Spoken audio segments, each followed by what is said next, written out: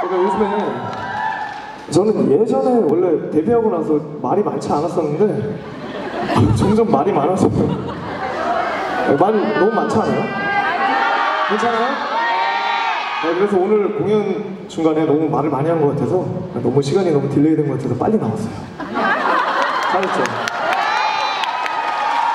어, 앵콜곡